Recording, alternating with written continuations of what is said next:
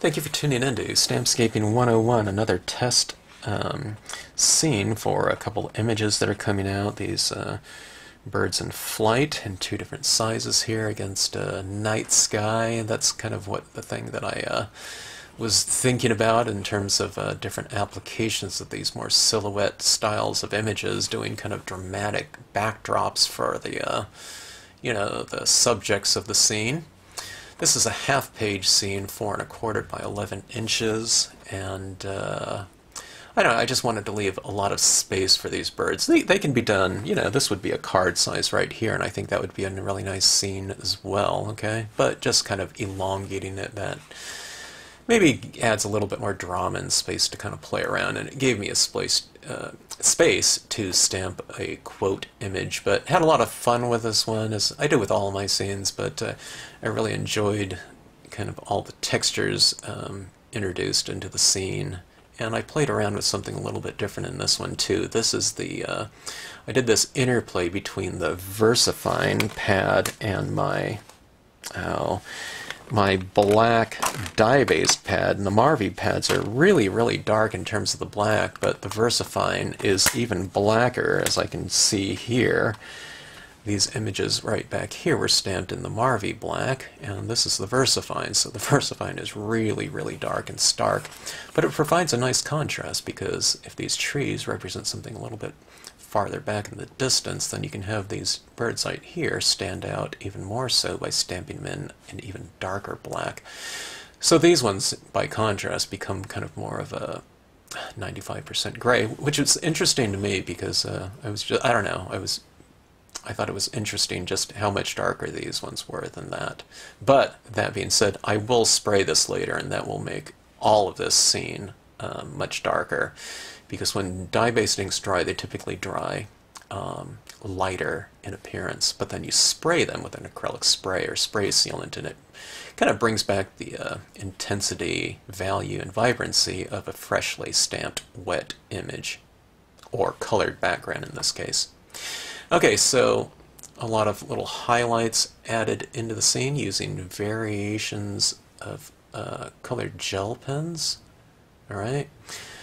And I also did that kind of splatter painting with my Dr. Martin's bleed proof white. You can see that little variation down here. All that type of thing can be done with a gel pen, but you know that splatter painting gives this kind of a little bit more of a random uh, application of kind of light on dark and it provides a nice texture so the scene here might be representative of like a early snow or something like that, and here these birds are kind of migrating or whatnot. So anyways, if you watched the video, I hope you enjoy it. I really enjoyed kind of uh, putting the final touches on this one here and watching it come to life with kind of a little bit more of a glowing moon and a textured, layered um, appearance to the overall. Okay, here's a couple other stamps from the new series of stamps, and this is also in set form. I have a bunch of uh, birds on one plate together, and this one uh, group of uh, birds is, I don't know, it's kind of like a little grouping, a little migration of some sort. And it's in two different sizes, so we can play around with scale and uh, depth within a scene and get that uh, nice visual continuity of having um, similar shapes uh, within a given space. And uh, when it comes to uh, landscapes, uh, sometimes having things in different sizes is nice due to the kind of Western perspective, you know, having uh, items uh, larger and smaller uh, within that given field to uh, represent distance. So, anyways, technically speaking, as far as practically speaking, it's just fun to have things in two different sizes uh, when it comes to stamping.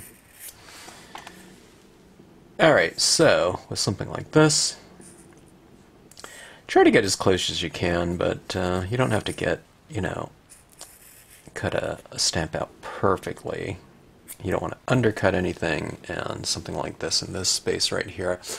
I don't think I want to cut that out. I want to leave that together, otherwise, it, you know, the stamp would be really floppy. You know, if I cut this right into here and up here, this I don't know that I think that area is supported enough on each side, you know, to not give me an impression right there in the middle. So I hope when I stamp it out in this video I don't get that space, uh, leaving it an impression. Okay, so um, there's all kinds of different ways you can do this. I, I made these particular birds kind of in silhouette. You can see they're kind of mostly solid. And uh, that's for the purpose of, you know, being able to do whatever you want to do in the background. And if you stamp these objects dark enough, they'll really stand out against the background without, um, you know, having to work around them. They can practically be an afterthought in your sky figures. Okay, let's do something fairly quick. I wasn't going to do a video tonight, but I've been doing working on the computer like for two days straight, working on uh, doing some troubleshooting uh, with an email server, and then uh, I was working on HTML for the new designs all day, so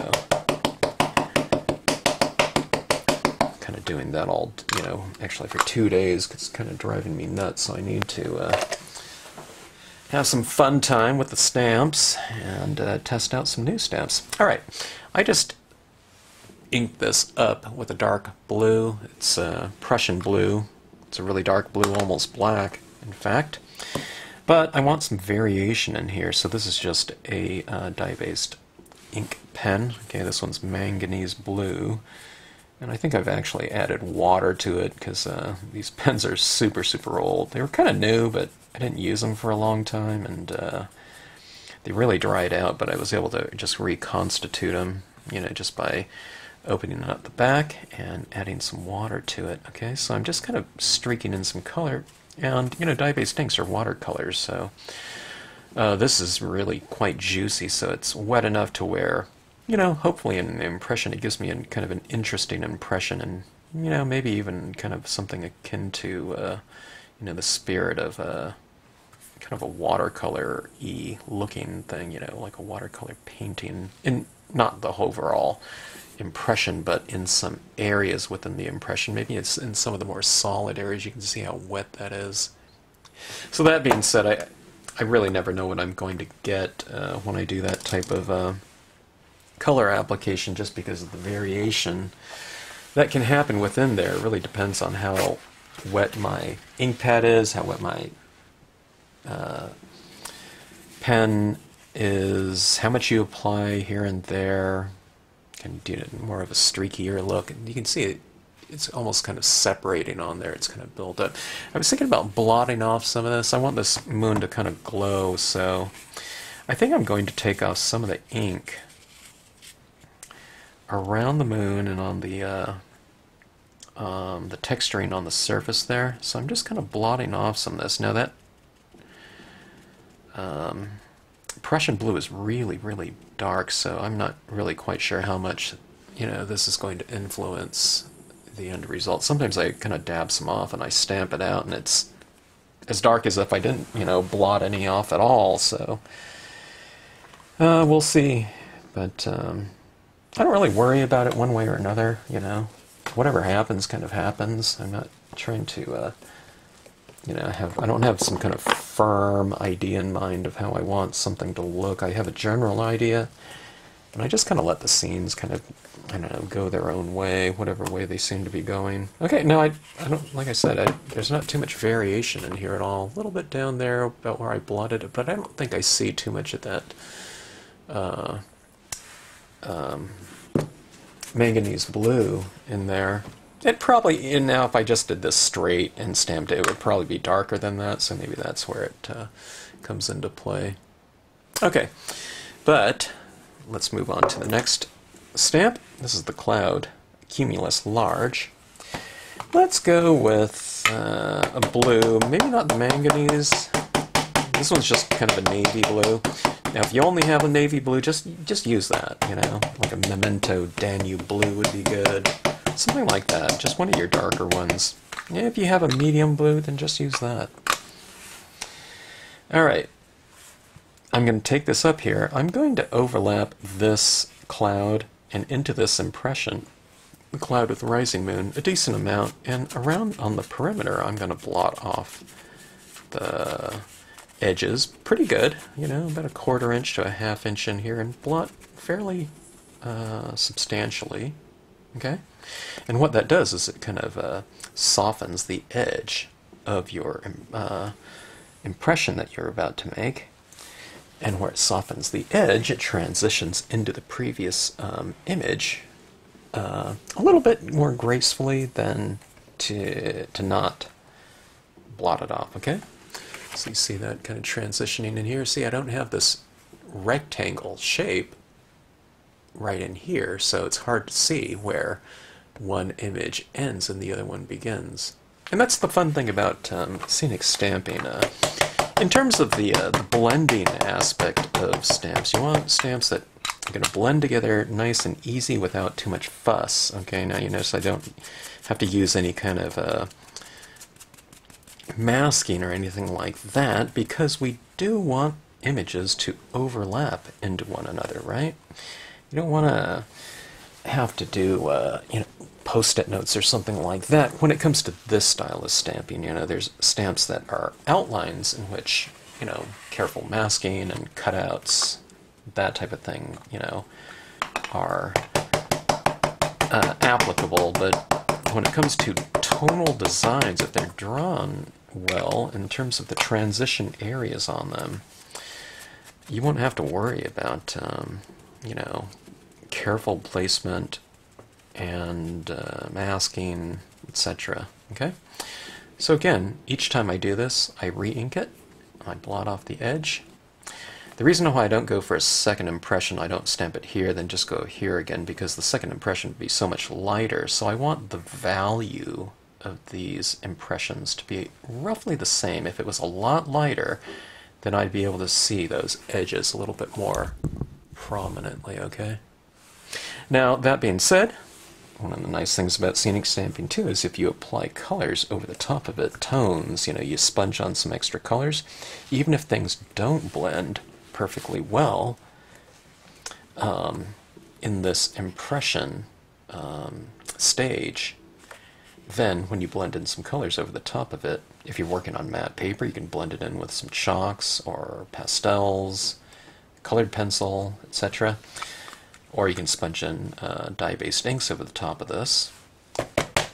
That will also um, blend all of your imagery together um, really nicely as well. So even if you don't get it in the impression part, then you can get it in the toning part. So don't toss out your scenes. You can always uh, just keep adding to them. I've never seen a scene that, um, you know, where something has happened and, you know, something has just gone, you know, gone awry and there's no way to recover it. There's always something you can do in scenic stamping, uh, you know.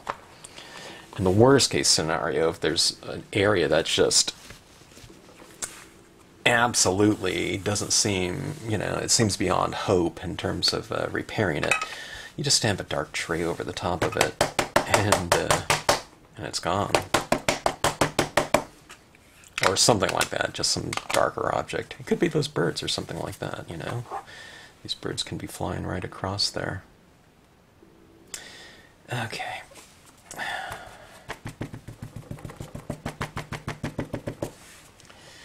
Okay, see I'm kind of getting up here. Now I don't want to stamp this so low that I'm going to be stamping it right into my moon. Okay, so I don't want to stamp it here, but you know, something like that would be good.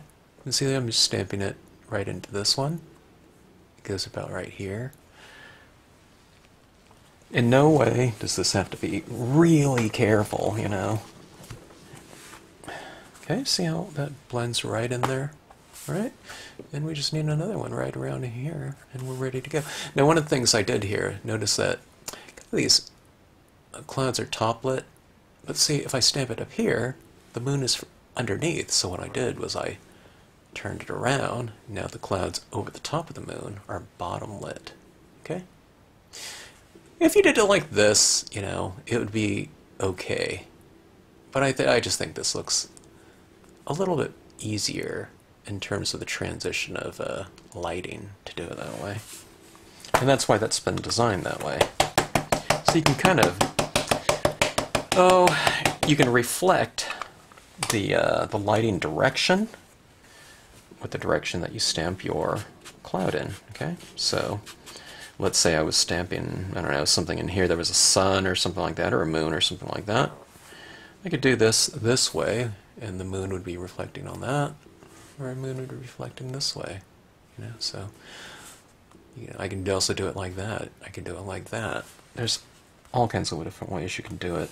But the biggest thing is just don't be too careful with your placement and overlap adequately. So really super careful placement and positioning and you know exact um, alignment is not good you know when it comes to this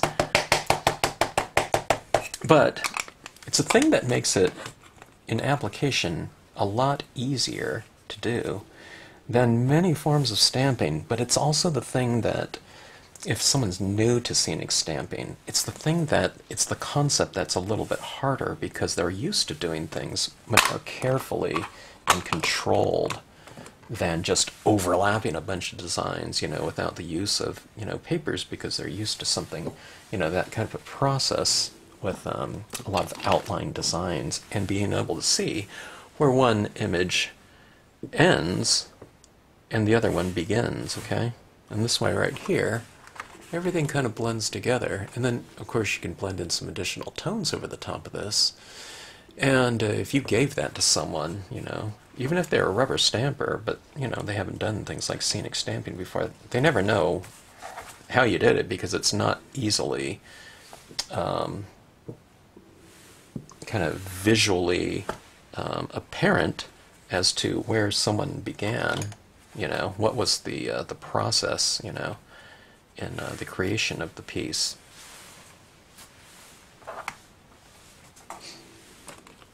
All right, now we're going to uh, direct our lighting with the use of shadow, okay? Here's my moon in here. I want that to be fairly light. And here's these clouds around here. If I want that to be really light in appearance, then you have to kind of make the areas around it darker. But I don't want to make everything darker. Now, do you see in these clouds right here, there's certain areas where they're darker than others, okay? Those are the areas that I'm going to kind of darken a little bit more with some tone. Um, so I'll reiterate the shadow effects that are already inherent in the design. So when you're thinking about um, adding in some shading to your scenes, um, it doesn't have to be a big mystery as to where to start. You can just kind of go with, uh, or you can start off with kind of what's already down there, what's already been laid out. Okay, now I'm just going to start off with some, this is a, by the way, a four and a quarter size page by 11. It's a half page. I just wanted to do something kind of longer again. I really like that kind of elongated format. And this mm, is a stylus tool right here. It looks like it has some green from my previous scene. Um, I'm not going to take the time to clean that off. Alright, I'm just going to blot it off like that. And if it has some green in here, then so be it. Okay, so I just put some re-inker fluid onto this pad cap here. You can use any kind of light blue, okay? I would go with something like a sky blue. Go with something as light as you can. That one happens to be a discontinued um, color called Aqua from the Adirondack line from Ranger. Okay, now see in here? I'm just kind of painting along and I like to do the uh, perimeter a little bit, or a lot. And see, anything that I kind of retain, you know, have light, it means just simply means that it's reflecting more of the light that the moon is, you know, casting, all right? So if this is the light source, maybe I don't have too much of this around that moon, but I do want that moon to be kind of bright, or light. So I do have to bring some of this color in here. So I'll, I'll be a little more selective as far as um, where I'm putting my color when it comes to the medium and darker tones. But I'm also, you know, kind of establishing shadow and light in this initial color too. Now sometimes that's a little bit too stark white for me, so I, I like to put a little bit of tone across that moon. Leave some white though, and I'll show you white later on. Okay, see this right on the perimeter. See this is kind of nice when you kind of ink up with your reinker fluid. This thing's really loaded up with ink. What you're doing is you're kind of creating kind of a a uh, ink pad on a stick when you you know saturate some ink in the foam padding right here. Now, if you're just working with the pad, you know, you would just take it like this and you dip in and go. But sometimes, you know, it's just easier if you have some reinker fluid, put it in there. And you're set for the entire um, duration of uh, usage of this color. I like it too in my, at least my first color too, because it establishes a really good coating of this particular color on the page, and I like to do that with oftentimes with my lightest tones. Because when I start adding in some darker tones like navy blue and whatnot, you know, the, I don't want to get a big oval shape like that in a really dark ink over here. So uh, if I get kind of everything a little bit saturated, and some in a class once said, you know, it's like you're kind of you're almost lubricating the uh, the surface with that first color of ink, and that's a pretty good description because what happens is um, you're kind of saturating the uh, the pulp of the paper a little bit when you do this. So I'm not just going for coloring, okay? I'm going for a little bit of saturation, so I'm kind of applying this, and it's not even really getting any darker. But what I'm doing is I'm kind of establishing this layer of ink on here, so that when I add those other colors of ink, they'll really spread and blend very easy for me because the surface is already going to be a little bit wet. So wet into wet, those colors spread very easy. If you're going with something like a darker blue and you go like that, you know, it's going to leave a big oval shape. Okay, so with these lighter colors, if you do that, it's not really any big deal because they're so light the contrast between that super light color in the background is not that much. All right? So in other words, get a good saturation with that first color. And spend most of the time that you're going to be toning with that first color. Don't try to jump into the darker tones too fast. You want to kind of get that established. The more you spend time with that first color, the easier every other color will be to apply over the top of that um, in a nice, graceful, easy manner. Okay, this one's kind of a, another lighter blue. It's Caribbean blue. It's kind of moving into that medium blues. Memento is a really good one too, the Bahama blue. I can use some of that here too. You see, you can just mix and match. Don't bother cleaning off the previous color, just move into your next color. Okay, see that? How much darker that is right there? Memento. This one's a pretty bright one. I, I really like it. Um, in terms of uh, another color, Memento inks too are they're thicker, so they're really slippery, which is kind of nice because they really blend beautifully. Okay. Don't scrub back and forth thinking, okay, it's got to get darker real fast. Just gradually bring up your tones and your values in your scene nice and slowly, okay? work an area, don't just do this. Don't try to get your whole card done like instantly, okay?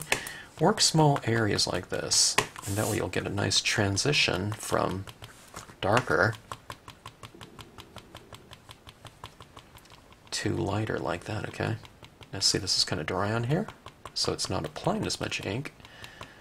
And the lighter taps in here, because there's drier ink on here, I can use that in the lighter areas closer to my light source. So darker on the outside, more saturation on the outside, drier and lighter on the inside, okay? All right. Now, I spent a good amount of time with that first color, so these um, incrementally darker colors that I use are really fast to apply because the um, page is fairly saturated with ink. So, when you're applying your other colors over the top of that, it's not absorbing into the paper that fast, so you're able to use that ink on the surface of the paper and really spread it around. Okay. The only thing you have to remember here is just take your time and add a lot of ink. Okay. If anyone ever has a, kind of a harder time with this process, it's because it's every time um, they just try to move into the uh, darker tones too fast. Like they're working with, say, the first color, but they see the end result being, you know, something like this, and they're thinking, why doesn't it look like that? You know, they're, but they're only on their first color, so they kind of rush into those ones, and the end result, and it becomes a little bit more of a precarious process. Now this one right here, I mean, I can do anything on here. I can just, I can do that, but see, this really spreads out easily because I added enough of that first color, so it's all kind of in that, that first color, you know whatever it might be. It's just uh, kind of laid down there. Now this is just with the dye-based inks. You can do this on matte paper. Um, I would recommend a coated matte paper just so it's not so absorbent, but I have, you know, done tests and in video format on this channel. And you can see that, I think it's in the materials or techniques playlist, okay, somewhere. And I was I was really kind of surprised at how easily the uh, ink spread on matte paper. It's a little bit of a different feel because glossy cardstock, you know, is just a slicker surface, okay? But you can do this on matte. Now, if I was doing this on matte paper too, maybe instead of this type of process with, um, you know, a sponge tip like that, you can use stipple brushes or something like that, and that adds this nice, really soft application of inks onto your paper. Or you can use things like uh, what was kind of seemed to be the favorite medium in with uh, stampers in Germany. For you know, early on, I don't know what they're doing now, but it seems like a lot of them used colored pencils way back in the like the 80s and 90s. You know, everyone did. There was everyone. So many people did landscape stamping there, and they all used colored pencils, and it looked fantastic. Colored pencils is really one of my favorite looks in rubber stamping. Do I do it? Not really. I, I don't do too much of it, but I sure like the look, and I love things like watercolor paints, and there's some people that are really awesome at that. Um, but I don't know, I just came to start using a lot of this, but I am using a lot of different uh, media, especially with the Mood and Media series of videos here, so I'll get back to that at some point in time, but I really wanted to test out some of my uh, new stamps with my kind of my favorite technique or my good kind of go-to technique, glossy cardstock. Uh, Dee Gruenig was one of the ones to start using a lot of the uh, um, Marvy pens back in the day, and she used glossy cardstock. And uh, my boss from uh, Stamp of the Hand, Kathy Okamoto, um, introduced, uh, you know, store to that because she uh, was a customer of Dee's or a supplier for D2. And uh, I just started using it. And then, I don't know, that's how we always did all our coloring over at a Stamp of the Hand company. Okay, so I'm moving into my darker blue here. The perimeter is getting fairly dark now. The darker you take some areas of your scene, again, the lighter the light areas are going to seem by contrast, okay? So you can see that what that uh, color is doing. I added over here, but not over here yet, so we'll just keep doing that.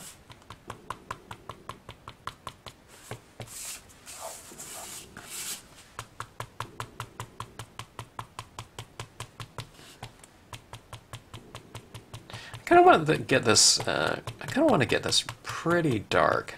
I want some, uh, I re really want to put that uh, silhouette kind of a spirit of those birds to the test, you know, having them nice and solid. I'll have them kind of flying against a darker background. You can always have them flying against a much lighter background, but they'll really be put to the test when you have kind of a darker imagery in the back here, because they'll, they'll need to stand out against that background, and we'll see if they can.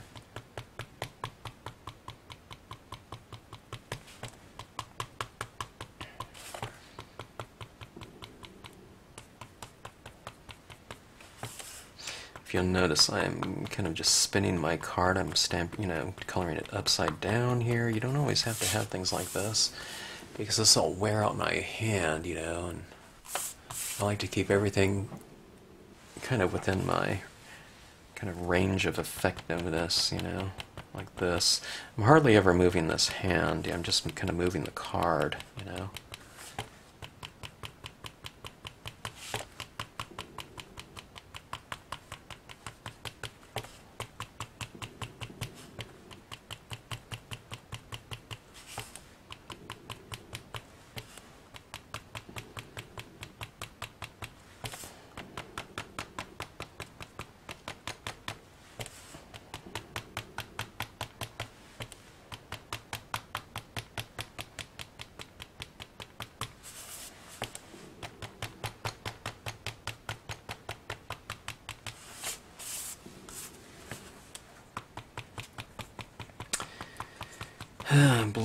I love uh, deep blue um, kind of uh, color schemes.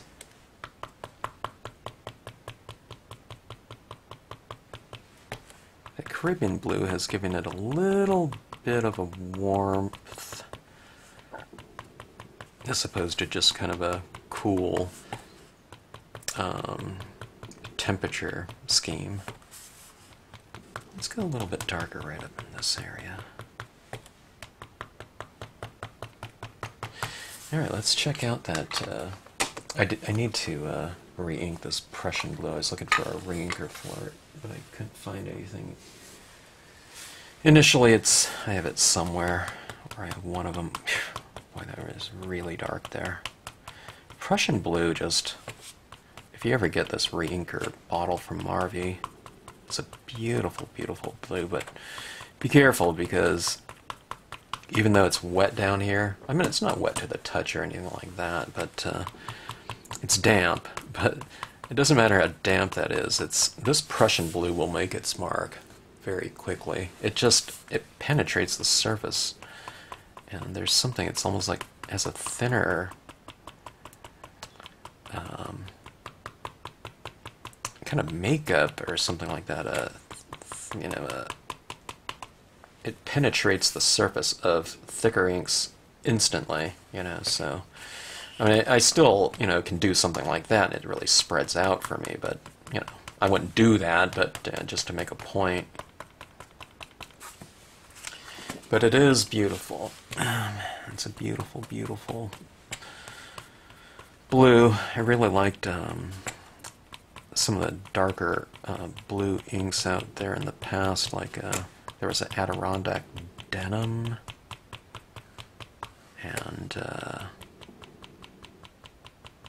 I think there was a, I don't know, the, well, some of the first uh, raised dye-base pads were called, uh, by Clearsnap were called, it was a line called Vivid, and within that range of uh, colors, it was really fantastic for me because there were about maybe seven different versions of blue. There were blue green, light medium dark, uh, turquoise, light medium dark turquoise. You know what I mean? There was just, there were warm blues, cool blues, there were, I don't know, violets, you know, kind of a transition of blue into violet. I know, they had everything. It was awesome. And those haven't been out in, I don't know. I don't know when the last time the Vivids were available. Kind of had a strange pad, too. It was real thick foam. Anyways, what what is your... Anyone have any recommendations on uh, dark blue that you know of? Let me know. Alright. So far, so good. We need to go to black, though, don't we? That's as dark as it's going to get using blue, at least the blues that I have. So, let's move on to black. I don't even know where my black pad is now. Alright, there's one of them. Okay, still just use the same pad that you're working with. I was showing people in my last video, uh, you know, if you don't have a, stylus sponge or something like that, you can always go with a, uh, like a cosmetic sponge. It's just one of those old wedges here. Okay. It has a bit of that, you know, that edge there, but, you know, you can make do with things and, uh, use them for whatever purposes you're kind of aiming for, okay? Some tools are just simply going to work, you know, easier than others. Like this one's more ergonomic, of course, because it's like a pen, but these are very inexpensive, you know, and I don't know. It, it's it's a really good sponge quality for um, this type of application because it's a very dense foam. But, uh, you know, it will work if you if you need something like that. Okay, look how dark that is. See that with the black? See that? It kind of contains the image, doesn't it? Or the composition more. I don't have it over here, but it really kind of frames things off to have those four corners a little bit darker. Doesn't have to be super dark but just darker than the surroundings. That's that's like what they do in photography and like a studio um, photography. That's usually a, a vignette around uh, the individual, which is very pleasing. It kind of contains the objects or, or the people within the uh, composition, and it focuses the uh, the attention and keeps the attention within the uh, the, the composition, the framework. Okay, so see that right there? Dark that got. But look how deep and rich a blue that is because even though the black is going over the blue, the blue underneath is influencing kind of what you can see because even though this is a black, it is all inks, dye-based inks are transparent, so the colors underneath are going to show through. This is black, just, you know, on a piece of blotter paper right there, but look how much, you know, richer this is right here to that. So that if you do cover up certain areas with other colors, it's not, you know, that you waste time with those previous um, applications. They'll always kind of uh, influence the end result um, in a very good way.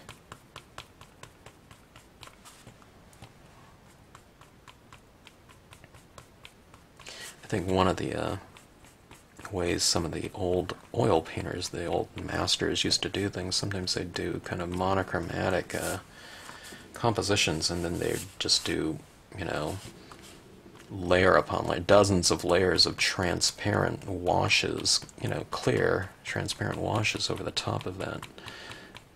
And uh, it would give it a really deep saturation and a very uh, kind of dimensional, realistic look. Not that we're going for realism or that we're doing that type of thing, but it's kind of like a very simplistic idea of that concept, or simplistic application of that concept. Alright.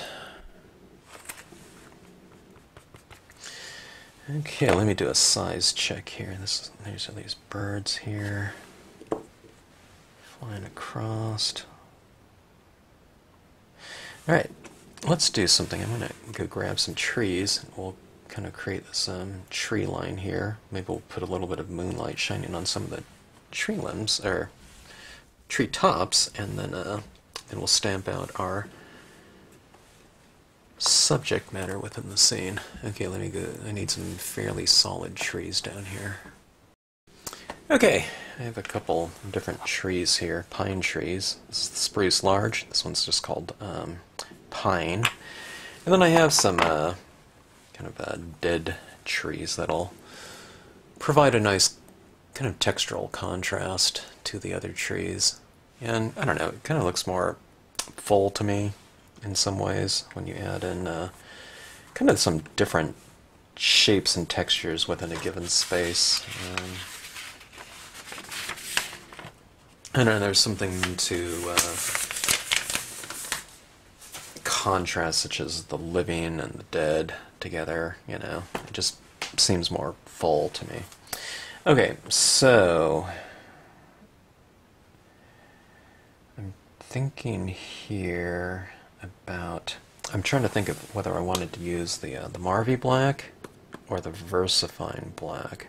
The VersaFine black is really, really dark. And I could do both, but um, I'm not really sure. Okay, now let me see. Let me position these birds about where they'll be going. I think they'll be going about right here and here. Maybe more than one impression. I can do these ones out here too. Kind of. Maybe I'll do the smaller ones. The smaller birds will be in maybe the Marvy Black because the Marvy Black, as dark as I thought that was, it's not nearly as dark as the uh, the VersaFine. So, and I'll position these trees kind of right around here. Okay. Now, as I do this, keep in mind it's there's a lot of ways you can do this. Maybe I'll do. Maybe you know what I'll do.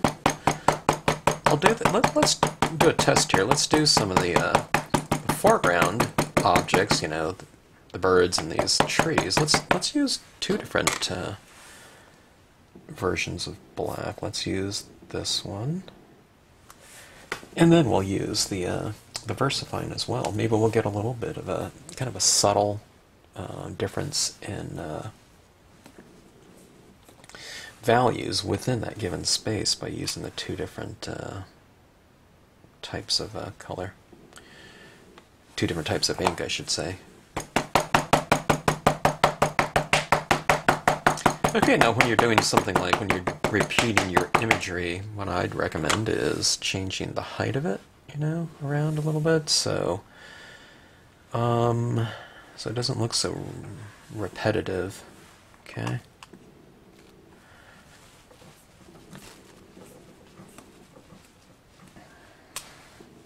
You want the continuity from repetition, but you don't want it to be so kind of, uh, you know, picket fence-ish, you know, in terms of everything, you know, being exactly the same height.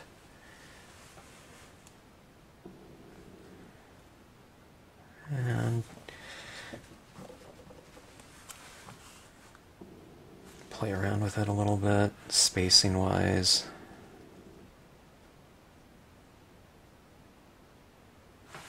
Okay. I'm always inking up more than I think I need just so I don't stamp it out and I get this big space, you know, down here where I didn't ink up.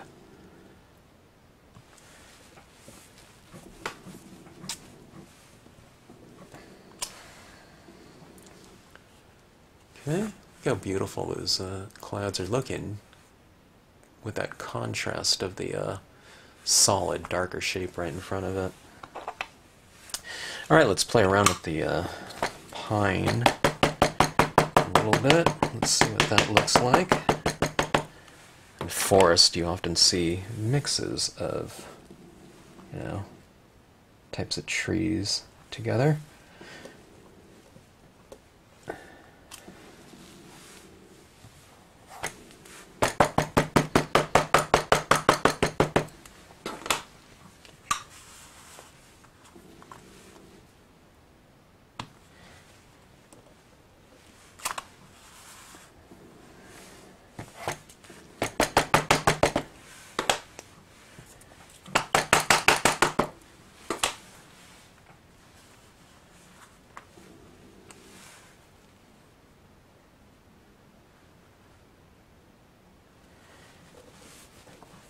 This one I just raised up quite a bit. I hope I inked up enough down there.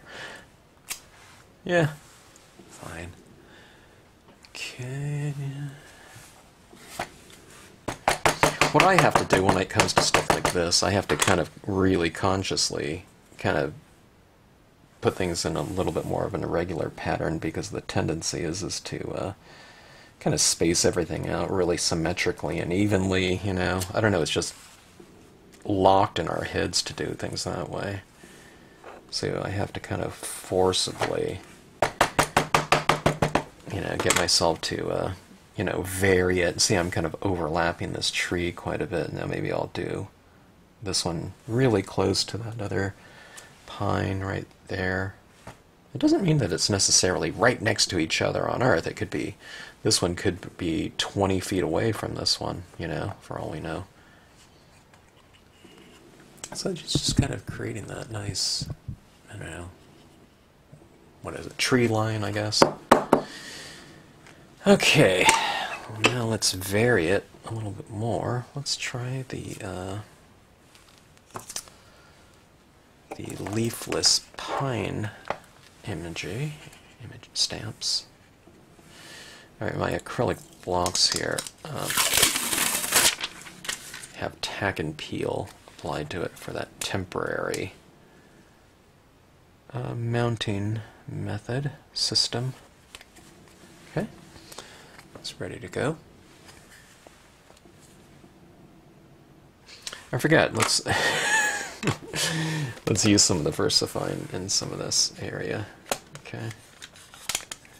Alright, the VersaFine, for those that might not know, is a black, or this one's there might be other colors of VersaFine. This one's the black VersaFine, which is a uh, a uh, pigment ink. Okay, it's different than dye-based inks. VersaFine, in particular, as opposed to other, you know, types of uh, um, pigment ink, gives you really crisp, fine impression. Okay doesn't quite so you know fill up the uh, the detail areas. Okay, Ooh, look at that.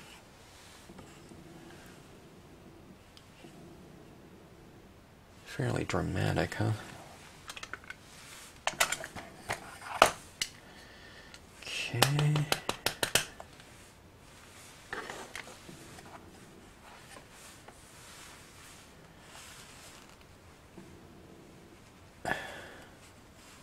A really dominant uh, figure within the scene.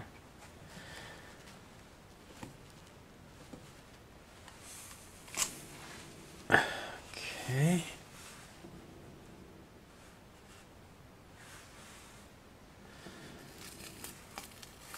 Let me go with a smaller version of it as well.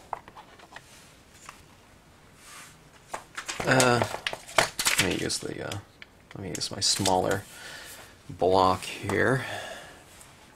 I need to wash off my tack and peel. It's not so tacky anymore. It gets dusty after a while, but all you have to do is rinse it off in water. Kind of let it air dry, and it really gets super sticky again. Okay, that was the uh, the VersaFine. Let me use uh, Marvy for this one. This one's going to going to be smaller, so maybe it represents kind of a tree farther in the distance, back in the distance. So the Marvy isn't quite as dark black as that VersaFine. It's reasonably dark. Though it's it's real dark, but uh, but just nothing compares to VersaFine. I don't know that I know of. So so let's go with this one here. Okay.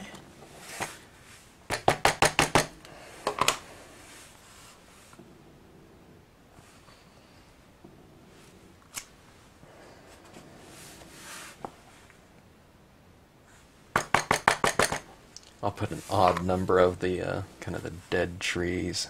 Okay, they say that uh, compositionally things uh, kind of in odd numbers uh, blend well together one, two, three, four, five. Not that you have to do any of that, I'm just saying. It's one of those little subtle details, maybe, in terms of uh, compositional kind of uh, arrangements. Okay, now there's something kind of missing right in this space here, and I think it needs another tree. Let's go with the let's go with the spruce again. Something a little bit more solid. Or oops, I went with the VersaFine. Well, let's go with the VersaFine then.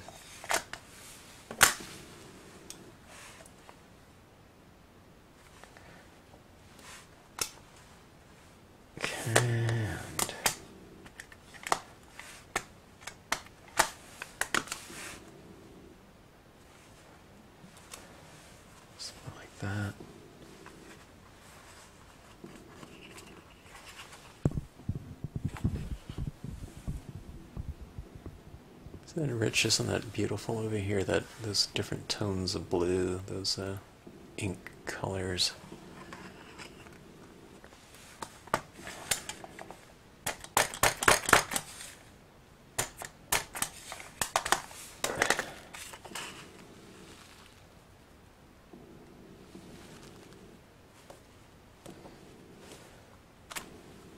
kind of more of a black and white um, person, but uh, when you know, like different types of uh, ink brand colors are layered over the top of one another, and kind of gets this deep, rich kind of saturation. I really love that. Uh, kind of a intensity statement uh, in terms of brightness. I love uh, deep, rich layers of uh, color. Alright, I'm just kind of framing things off a little bit more and going with the VersaFine here. Alright, so we have that. Okay, let's bring in our kind of the main stars of the scene, which will be those birds, I think. I don't know. Maybe the moon moonlight's the main star of the scene. We'll see.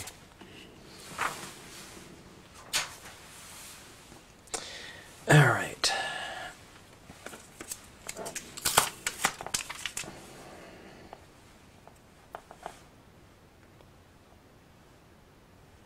Seeing if this stamp will fit on here. It does. Just barely. So that's not hanging off there too much.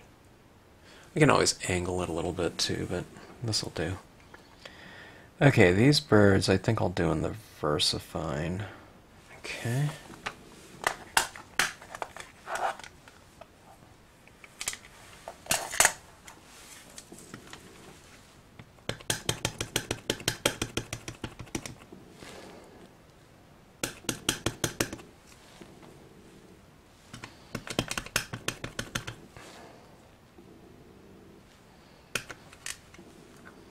All right, first impression.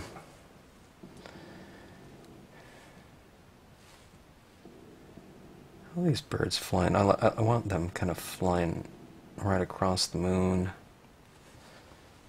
or partially. You know, if that added drama and contrast of a object against light source. Okay.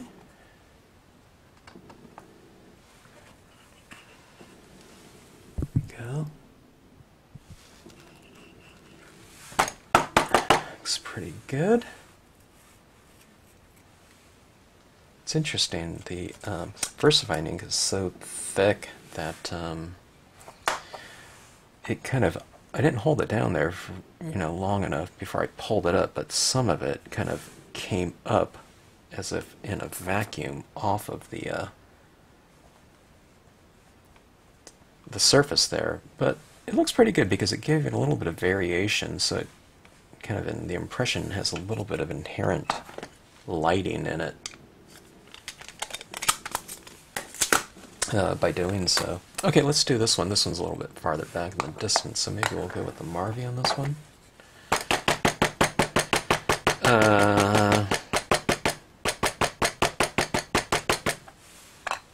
this is the Marvy Black. You can maybe I'll do this. Let me do this. Let me add some of the Prussian blue on there too, so it's even lighter maybe in the distance than black. Okay. We'll see what combination. I don't know if I just blotted off all the black or, or what, but let's put these other birds right back in here. Now that is pretty dark down there. Maybe I'll go underneath it where it's a little bit lighter for this impression. I'll hold this down a little bit longer. Just because the uh, surface of the page is fairly, mm, I don't know, saturated. It's not down to the touch. It's not going to get ink all over my fingers, but there we go. Looks pretty good. It's a little bit lighter, so it kind of pushes it back in the distance a little bit more. Could have been even lighter than that, but we could put more there too, but I'm trying to think if that would be overkill. Maybe, I don't know. It'd be kind of a larger migration, but I think that will be my statement right there as far as birds go. Alright, now one of the things that's going to be super fun to do on this one, because of that moonlight in there, and the fact that I've left, I've retained, oops, I've retained some areas of uh, parts of the card um, as white. I'm going to bring in some uh, pigment ink in here and really soften up this area in here and give it a nice glow. But before I do that, this area down here is really wet in terms of the uh, the impressions. You can kind of see it right here. You can see those birds. You can see that glistening with that uh, VersaFine paint there. Maybe down here too. This paint does dry pretty fast, but or the I call it paint. You know, it's pigment ink. But look at that. That tree right there is really quite wet. It almost looks dimensional. See how it it looks like it's raised against that tree down there when I do that. And that's the difference between that uh, VersaFine and the uh, Marvy. It's it's really thick. And, and this spruce right here is done in the uh, VersaFine. You can see how wet it is. Does it see?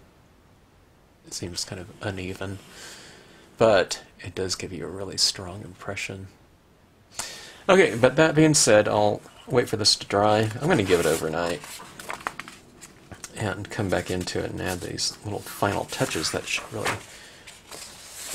bring this um, already rich scene, I think, to life even more by adding in some uh, textural details and uh, lighting details as well, kind of lighting, uh, light defining details.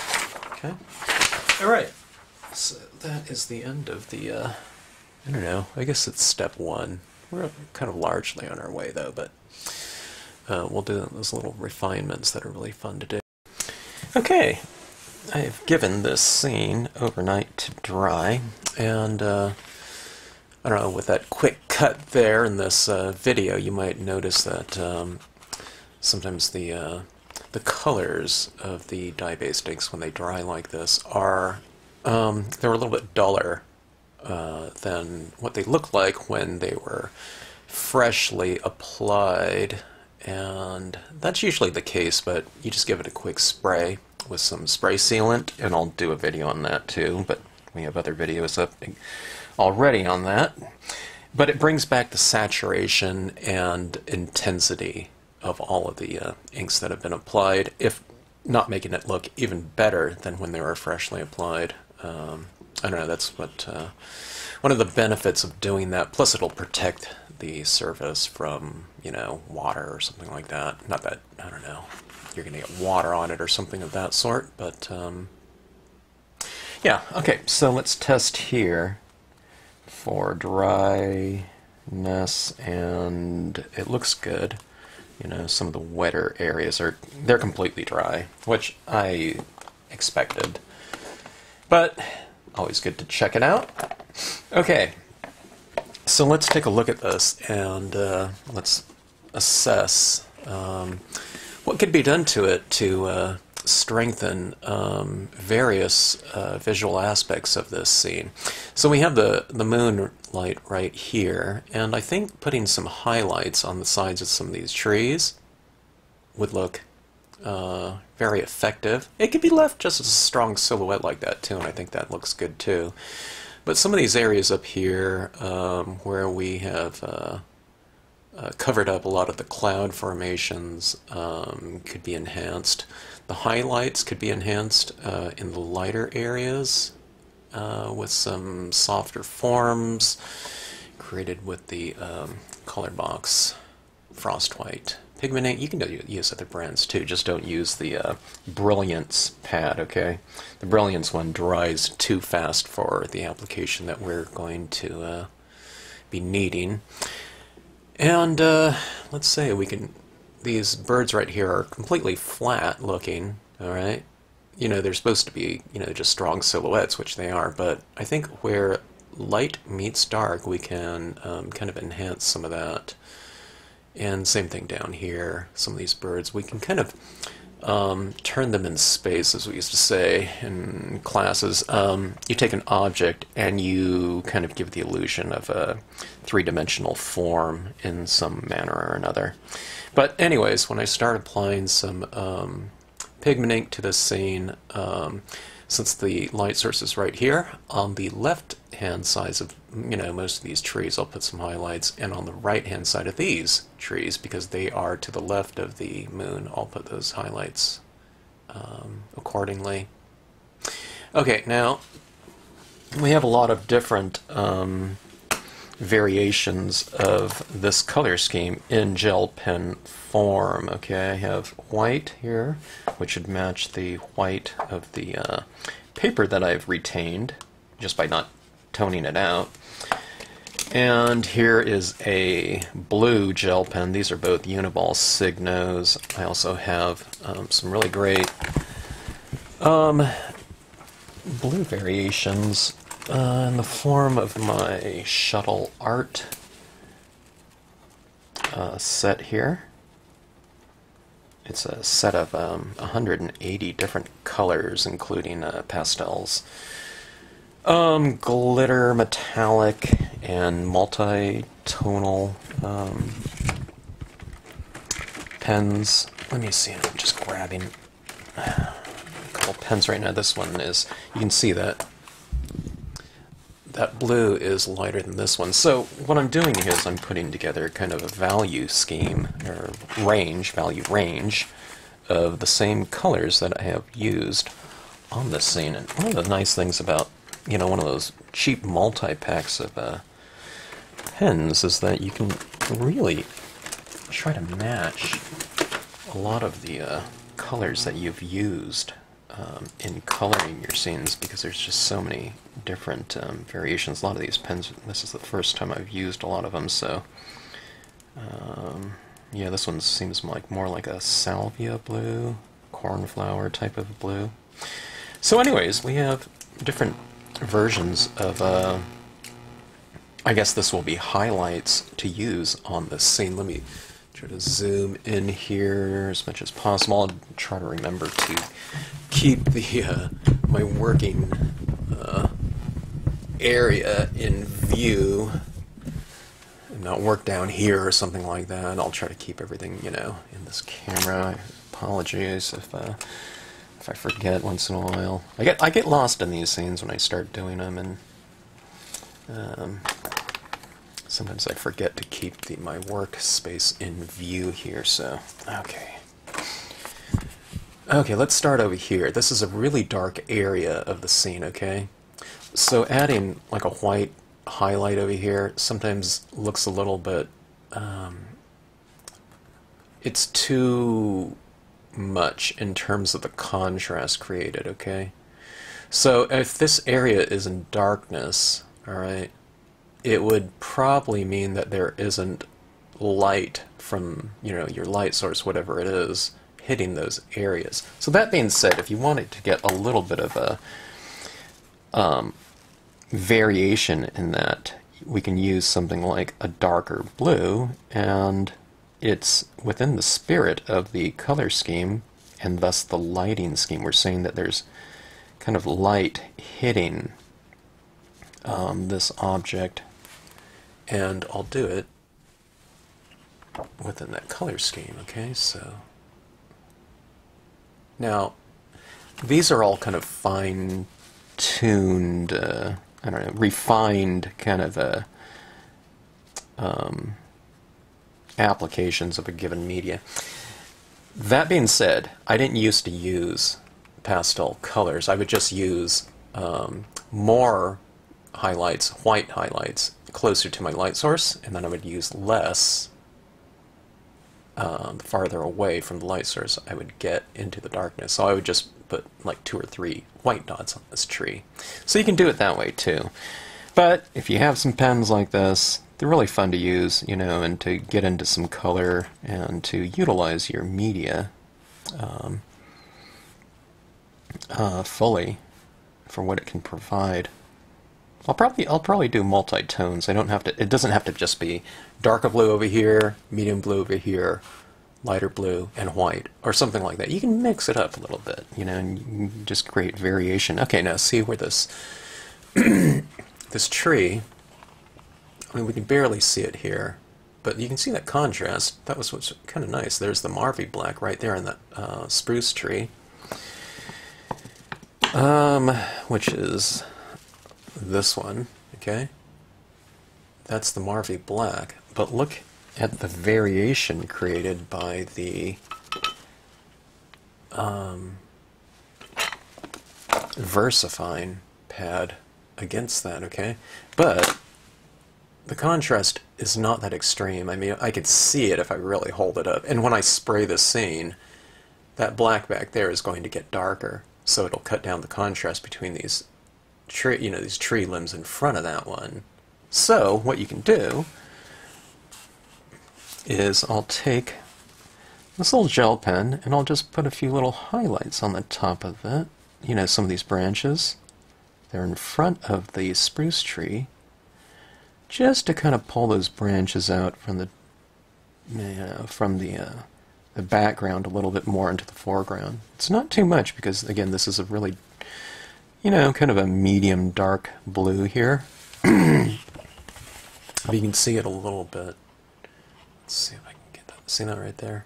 I've just put a few little dots or a little line on a couple of these branches right here. Maybe another, just a little bit more right here.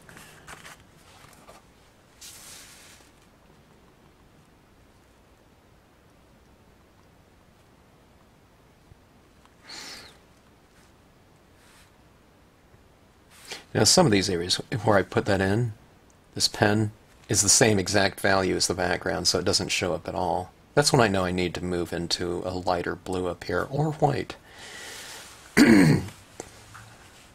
Excuse me for clearing my throat here. I just ate breakfast. Couldn't wait to get to this scene, though. I, I love adding these little touches to a scene. I think it kind of brings it to life a little bit, and uh, it's really fun to do.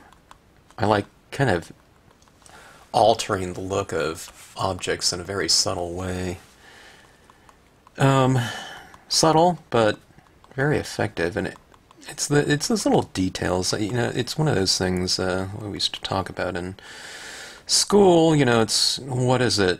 You know, what are those little things that we can do to our pieces to want to capture the viewer's attention, but you want to have something, if possible, to hold the, the tension for a little bit longer. And I was trained as an illustrator, and, uh, you know, uh, let's say if someone's turning pages in a magazine or something like that, and uh, you have an illustration in some advertisement or something like that, if you can get that viewer to kind of stop you know, for a second and to look at it, you know, for a couple extra seconds, that's, you know, ideal. That's what you're kind of going after. They might not gaze at it for, you know, minutes or whatever, but the idea is to, you know, your visuals are up against uh, other content in these magazines and whatnot, or books or whatever, and you know, you want to kind of hold the attention for someone. You know, you want someone to kind of stop and really enjoy what uh, that uh, visual has to offer. And sometimes it's those uh, little subtle details that will hold the attention. You know. Okay, so kind of bringing this uh, spruce tree out from the background a little bit, and here's this another uh, kind of a dead tree here, putting a few little highlights on it. Right in here, things get a little bit um, clustered and overlapped, so something like this can bring out, you know, some uh, forms out of the background and make it look a little bit more dimensional again. Now, I said on this side of the uh, moon I would put most of my highlights on the right-hand side. It doesn't mean that you can't put some highlights on the, the left. I'll just probably be a little bit more um, right-hand side dominant when it comes to the uh, objects to the left of the moon. Okay, but see, I, I don't know. I put a little on there. Here's this tree again. Branches going in front of the spruce tree. If I put the highlights on the spruce here, then the spruce would look like it's in the foreground. But if I put the highlights on this branch, as a matter of fact, maybe I'll do that. On this side, I, I said that this, you know, tree was in front of that spruce. Over here, um, the spruce and the dead tree were stamped in the VersaFine, so they're equally as dark. So, you know, which one's in front of the other just depends on how we approach the highlights. So see, on this one I put those highlights right over the branches of the uh, this dead tree. Sorry. so it looks like the spruce is now in front of it, right? But I could have done it the uh, you know the other way, and the uh, this one would be foreground.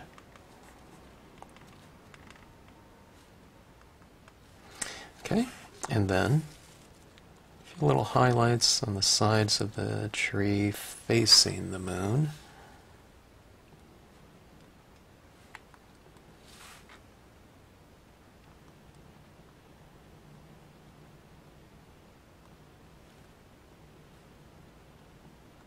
We could even do uh, snow or something like that falling in the scene. That might be interesting. I don't know. That's that could be in the uh, in the cards, so to speak, for this scene. We'll see.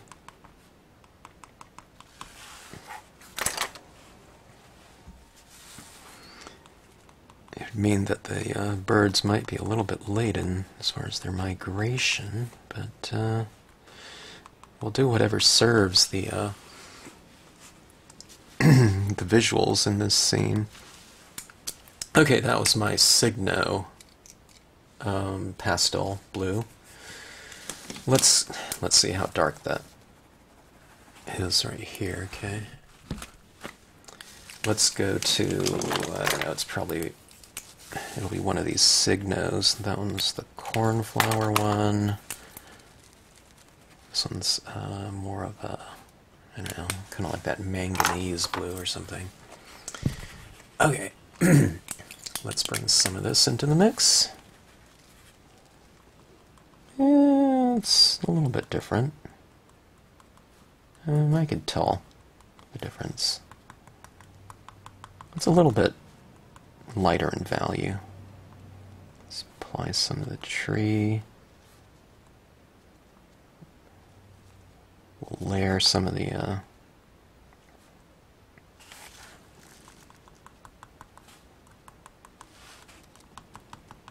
some of the other gel pen marks. Okay. We have these multi-tonal highlights.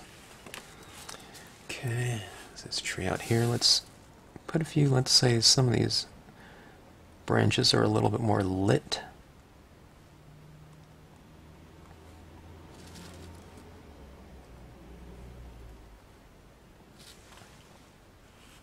It kind of starts bringing it back, bringing it out from the background, doesn't it?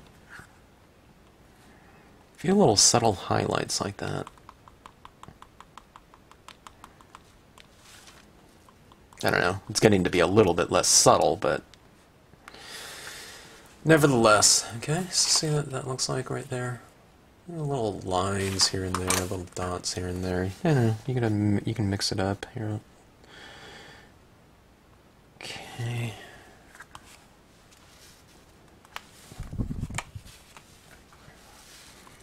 I think this tree could use a few highlights. The spruce.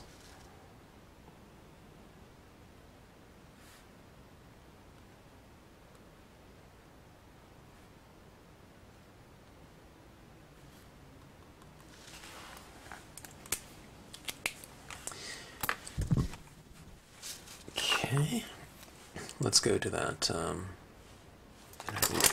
lighter. I think this this this is kind of a lighter, brighter blue,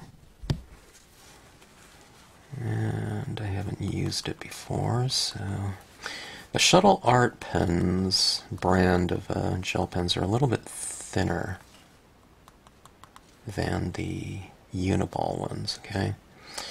So we can see what that color is looks like over a piece of white paper, but it's not necessarily going to look like that if you're putting it over color or if you're writing on a black paper or something like that, which is really fun to do with uh, light colored pa uh, pastel gel pens.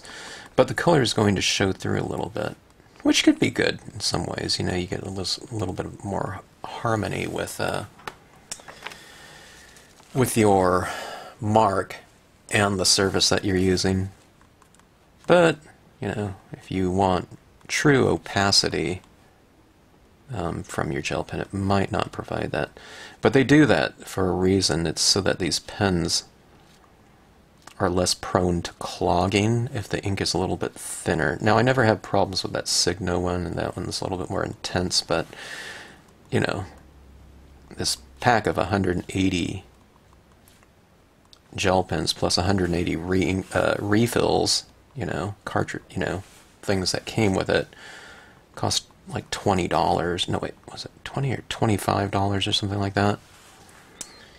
Where you know one of the uh, Uniball ones might cost you know two dollars or something like that. So. Uh, no complaints here, you know, as far as translucency with the uh, the shuttle art ones that uh, they really serve their purpose. Okay, let me see.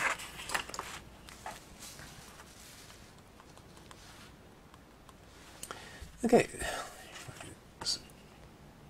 bring this up here. You can kind of see some uh, highlights where they've been applied.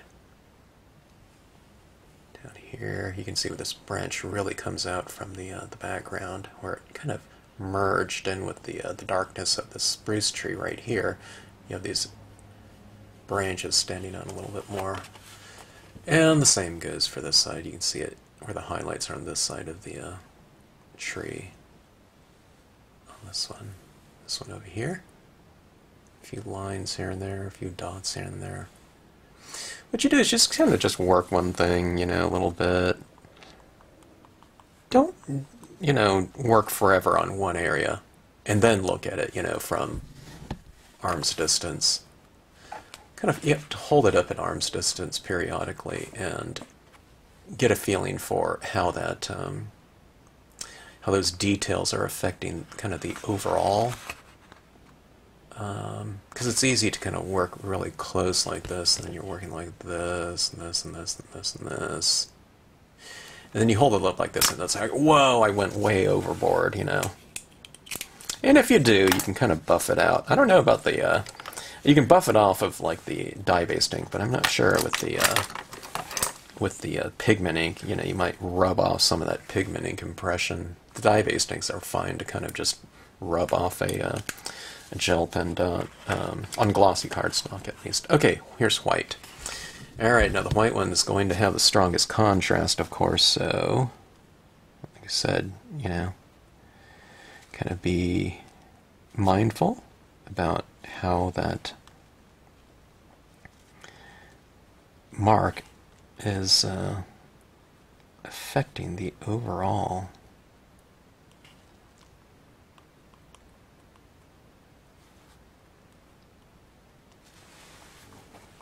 See that moonlight on that branch now? It really stands out, doesn't it? Let's come over here and let's bring this tree out from the background a little bit. See, just a couple little touches like that. See that right there? It really captures that moonlight, doesn't it? And it doesn't take too many.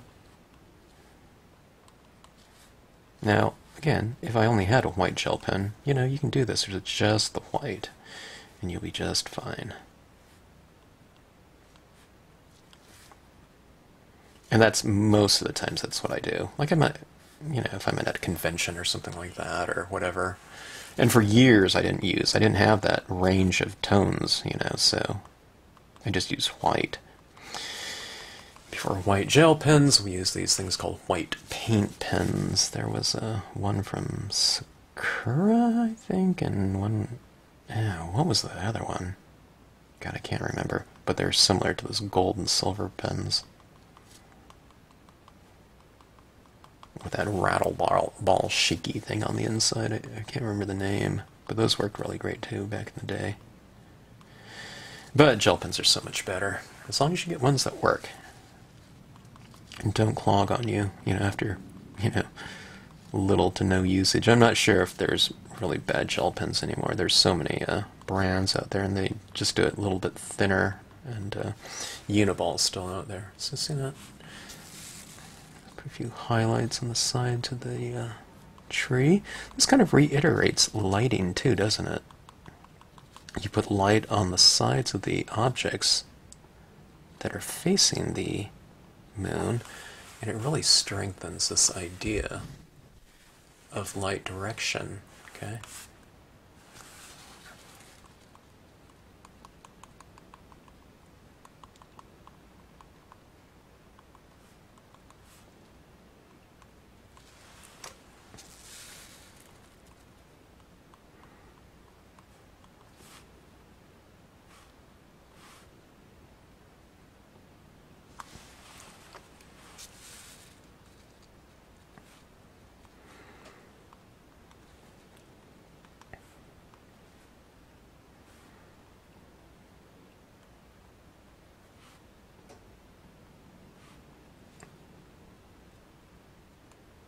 This is really fun on these uh, leafless pines stamps. Look how dimensional that looks now. I mean, it's a flat design, but this to me looks really three-dimensional just for the fact that it's reflecting some light in parts of it and not on other parts or parts of the branch or whatever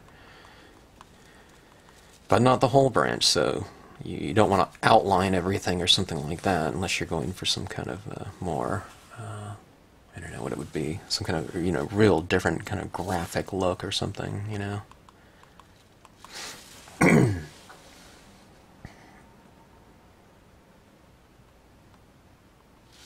Okay now let's add a few little highlights here and there in the uh, sky.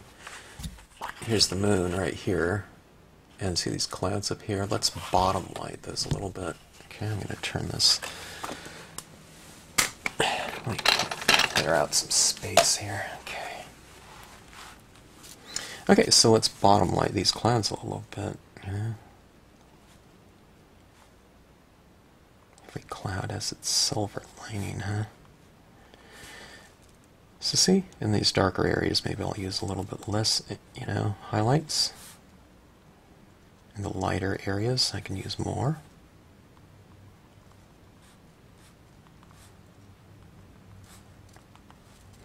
Okay, you see this cloud over here facing the light, right? You can see where it's lighter in the design itself too. And all I'm doing is just I'm just going and reiterating that. So I've tried to really control lighting within the designs so that they inherently have a light source reflected in the uh, impressions. So all you need to do is just kind of follow that if you choose to add shading or lighting.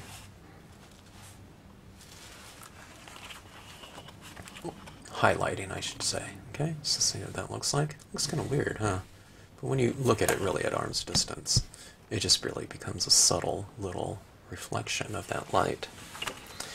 Okay, And some out here in some of these clouds, maybe. I'll handle most of those areas, though, with uh, pigment ink, which I think we're ready for now. This is 10 point uh, glossy cardstock, and it keeps kind of bowing on me that way. I have to kind of keep counter bending it a little bit, like that. I always recommend to people to get, just go with the, uh, pay like two or three dollars more and get uh, per ream per 200 sheets if they're doing that to get the 12 point. 12 points so much nicer than this 10 point thickness. Um, okay, um, let's see. I'm trying to think of this. This applicator is kind of whipped in. Look how fuzzy that is. I kind of want things a little bit um, frayed and loose. So, but not that much. Okay, here's my Q-tip. This is how I kind of I kind of loosen it up a little bit in the uh, tip, just because I want a real kind of light, kind of feathery application of that. Don't fray it too much, but just kind of loosen it up. Use real cotton if you can too. I don't know. I haven't really used an acrylic one that really works for this purpose. It kind of goes on too blobby and hard. So if you want a soft application of something, it's just better to go with a soft applicator, okay? So see this is so this is tight and this is kind of soft now. Don't unwind it completely though. I don't know. You'll get a feel for it. Okay, Colorbox frost white. As I say in all my videos, if anyone ever has a problem with this, you know, in terms of uh, difficulty applying it, it's because they add too much ink, okay? Now I'll purposely add a little bit too much here, okay? And see, if I lightly dab this, there's still kind of a thicker amount of paint. You want it to look like that more than that, okay? But doing this will give you the feel, you know, kind of blot it off so you have a good idea of how much is applying. Okay, so here's, watch this, one, two, three, four, five and you can barely see it there, right?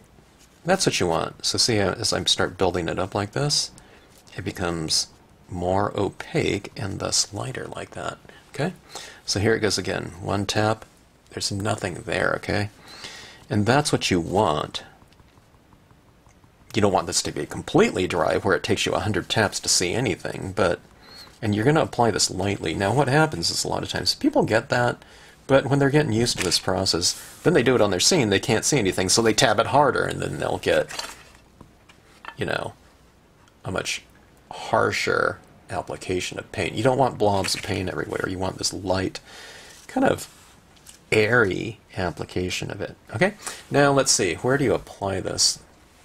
We're going to apply it where kind of light meets dark, so light meets dark here, light meets dark, light meets dark here, there's lighter areas down here, in here, light meets dark, okay?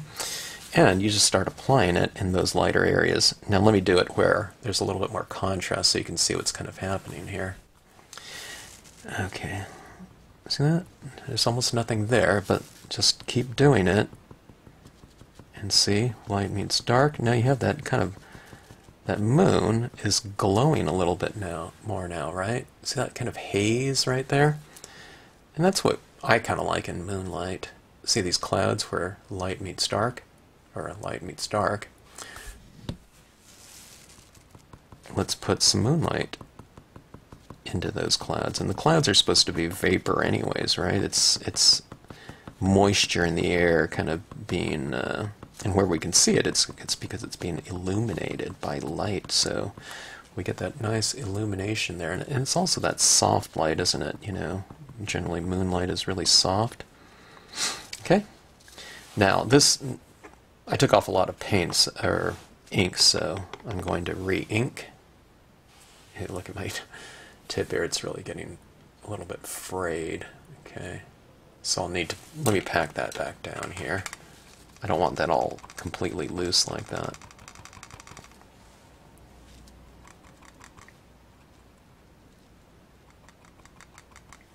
Okay. All right, so let's see down here. There's this area. That's part of the area that I kind of blotted off inherently. before I made the impression, if we remember that. Oh, here's this bird down here in the moonlight. Maybe I'll put some over that uh, bird. See that? Where it's now. That bird is kind of now being illuminated a little bit.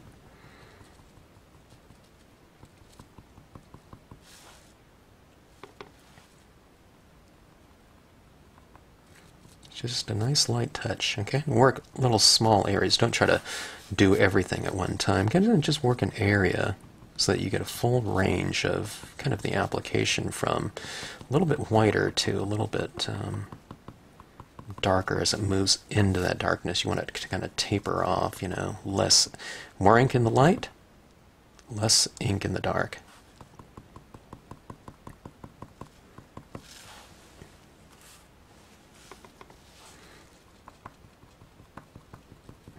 Now, if you start applying it in the light area, you can really just, you know, you can tap ink up and just go right into those areas, but just, you know, just be mindful when you move out into the darker areas. Okay, see that kind of starts glowing a little bit more the lighter you take it. You don't want to do too much everywhere though. It's kind of nicer, just like the gel pen to kind of oscillate a little bit. See, like this bird right here, I can put some on that's back, but maybe not on the front area. Just, you know, because the back area is where the moonlight is kind of hitting it more. And I, I think that gives uh, your objects a little bit more variation, which is nice. You know, it's not just all um, one value. Okay, I've frayed this one enough. Let me loosen up this one. I, I, I loosen up that other one too, that other side a little bit too much. So. Okay. Now most of our pigment ink pads, unless you're using it all the time, they're really wet. and it is, I call it paint a lot of times because I think it, it almost is like paint, okay? And it's really thick, so be mindful about how kind of juicy your pigment ink pads are because they're usually very because we just don't use them as much as like our you know black dye base pad or something of that sort. I mean I found these pads recently um, in storage. And they haven't been out in I don't know, I'm guessing nine years.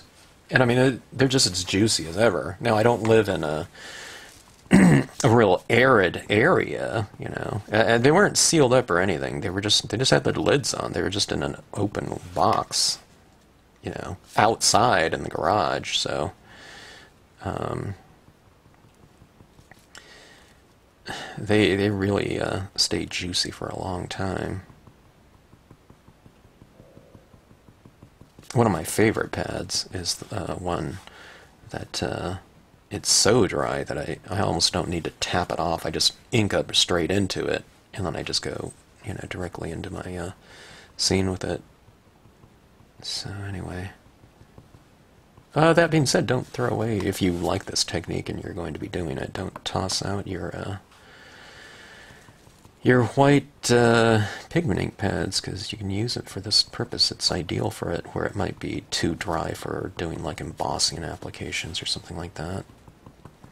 Okay, let's add, that's around that moon. Look at that moon now, how it's really glowing and it's kind of glowing around these these objects that are, you know, flying in front of it are kind of glowing a little bit. Let's See that? there it gives it that kind of softer glow. And now let's do the same thing on some of these clouds, some of the clouds that are kind of facing that moon. As long as they're in kind of a little bit of a lighter area, this white looks okay on them. You can't really do this in the darker areas. It just it looks too out of place having kind of this white vapor and, you know, kind of an area in the shadows. Here's this area of light against dark, right? That tree. So let's see what that looks like on that side of the tree facing the light, the moonlight. Kind of puts a little bit of uh, moonlight on those trees, doesn't it? And I'll do it on the uh, right side of it and not on the left. Again, just to kind of reiterate that light direction um, of the composition. This type of application of ink, you know, it really makes for an easy process. The concept might be strange at first, okay? But nothing within this kind of process is really hard. I mean, if I go like this, I mean, there is nothing that has been done. It really takes, you know, a few taps. I mean, it doesn't take forever. That took me like two or three seconds, okay? And I've put that little bit of a tone on that tree, but look how effective it is. All right? But look how forgiving this is, too, as a process. Okay? This There's a little bit of area of light in there. I mean, that was like a real haphazard application of it, right? But if you just make it easy for yourself and make it where kind of, you know, you can tone in very gradually, but, you know, it's it's kind of an expeditious process. You can get that kind of glow going in here. Let me use a little bit more ink. Okay, see that right in there? And if I put too much, you can just dab a little bit off. Here's some up here. It makes for a nice, easy process. Just don't rush it. People use too much ink um, in the beginning, and I do too. I had to get kind of used to it. You know, like if I get a brand new pad, I got the uh, Hero Arts uh, Unicorn one, which is a really fantastic one to stamp things in. But this pad is really super juicy, so I typically use my used Colorbox ones, but the Hero Arts one is the same type. Just, you know, you just have to dab in very lightly two very barely touching taps into the pad and, you know, then you really have to dab it off a little bit, but it's ready to go, you know.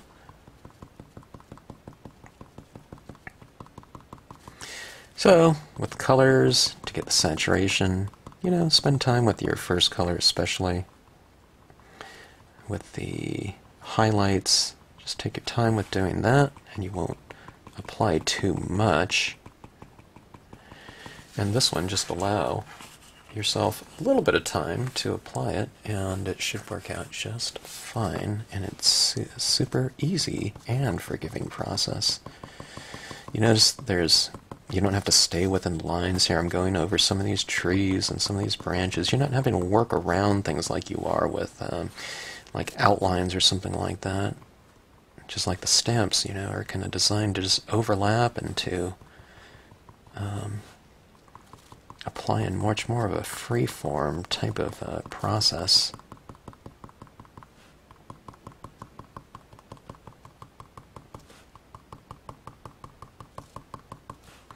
Okay, we have these clouds up here.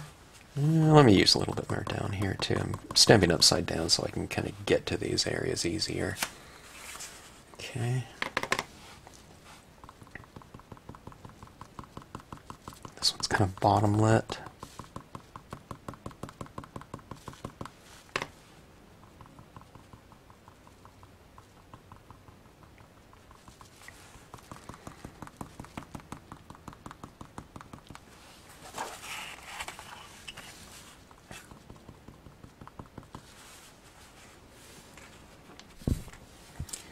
This one area right here. Applying it over some of my branches as well, maybe. Kind of varies the, uh, the look of that branch a little bit. Now this could also be just, you can put fog. I'm kind of doing what might be, you know, deemed, you know, kind of more of a, uh, a highlight or something like that, you know, that it represents kind of softer edge of the existing objects, but you can also just add in some kind of haze somewhere. Let's do it up here in the uh, clouds a little bit more, so I can kind of just add this in and touch, you know, here and there. like this. And then you can put some down in your trees. Okay. So let's go with this here and there.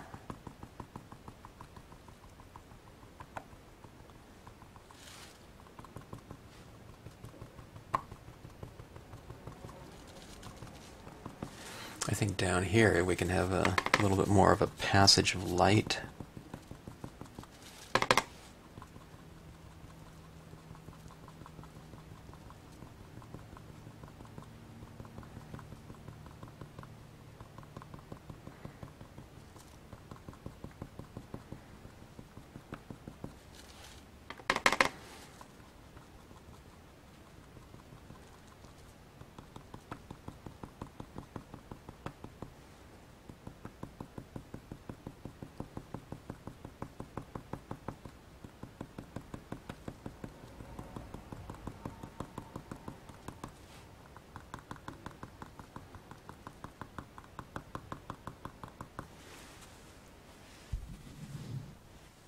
Is that fun? Is it? Isn't it really? It kind of comes alive, doesn't it? You know. And what you're doing is, as I've mentioned in some other videos, it's when you're doing this here, you're really adding an element of softness.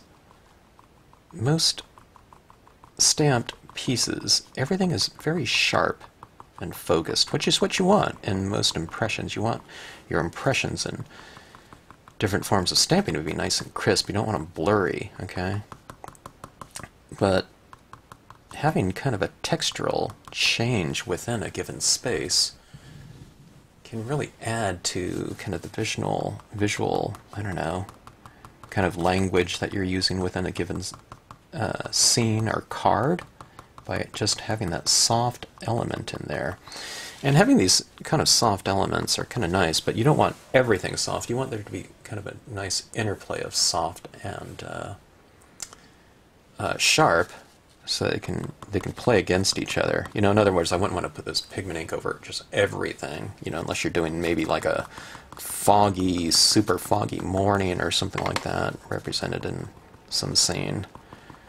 Uh, for for the most part, you want a little bit of this oscillation of soft and sharp, just like you want some, you know, light and dark, you know, um, whatever, dull and bright, and uh, I don't know.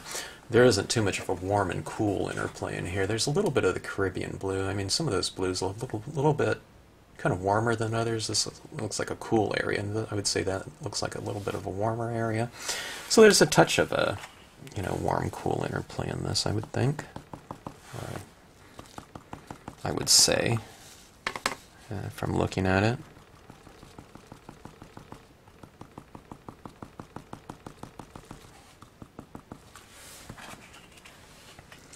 All right.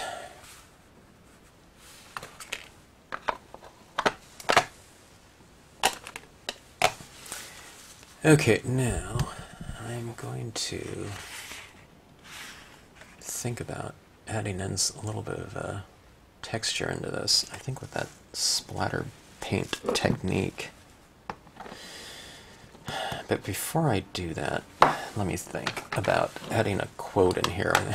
this is a really large scene, and I, wanted to give myself some uh, choices here, compositional choices, as far as perhaps adding in uh, some kind of word stamp in here that I think would go very, really well. If I do that, I want to stamp that out before I do the splatter painting because the splatter painting gives me kind of this textured surface, you know, of, of raised paint where it won't give me kind of the opportunity to do a real crisp impression. So we want to do all impressions first if we do that. So let me take a look and see what I have and uh, we'll go from there. Okay, I think I found a sheet with several that will work very well. The picture is a poem without words. I, I'm kind of leaning towards the uh, to the mind that is still the whole universe surrenders. I think that would look really nice in here. Um, this one really caught my attention too. A good traveler has no fixed plans and is not intent on arriving. Lao Tzu, but uh, I don't know. Maybe that one apply to this because these ones are very. Uh, they do have very fixed plans. You know, nature. You know, it says it's not intent on arriving. They're not going to any kind of just you know anywhere. But this one's really good too. Uh, I don't know. There, there's all kinds of good ones in here, but I think to the mind that is still the whole universe surrenders. That one's kind of. It, I like the font of this one and the size of it, so I'll do that one. Let's see. Uh, and I think that fits really nicely in this area. Yeah. Okay, now this one's going to have to be reversed out, so I'm thinking about a brilliance pad. Um, just to give myself a little bit of a stronger impression of it. This is a little bit more opaque and it dries fast on glossy cardstock, but it's still going to be a little bit more translucent. Okay, so that means that some of that color will show through, which I kind of like. I don't think I want this quote to be so strong and white up here. You know, I think it would be a little bit distracting. And I want it to harmonize with the uh, the uh, the tonal um, range of the uh, of the uh, scene. So, or I guess that more specifically that area of the scene. So, if I stamp this out and a little bit of the blue showing through, then so be it. It'll it'll be somewhat akin to kind of maybe that color rather than like say white. Okay. We do want it to show up though, so let's see if I can get this in there. Well, I don't always. Sometimes it's crooked, but um, that's something that I don't really worry about too much. I have to kind of be mindful that this is on cling foam here. This is one of my cling foam versions of this uh, stamp set. I'm just practicing right now. I gotta move this down a little bit, sorry, but right here, let me see if I can zoom out a little bit. I need to get this a little bit closer to me so I can see right over the top of it. Okay, let's see. I'll do a test print on this black piece of paper first. Let me even test out this brilliance. I haven't. Uh, there seems to be plenty of ink on there. I wasn't quite sure if it was dry or wet. Okay. Now that's on black, so you can see that it really doesn't stand out too much. You know, this is white here, you know, with the gel pen, so you can see the contrast. It's much more of a gray, gray scale. So, um, I don't remember what font this is. It's like Century Schoolbook or something like that. Okay. Yeah, would this be good with a stamp positioner? Sure.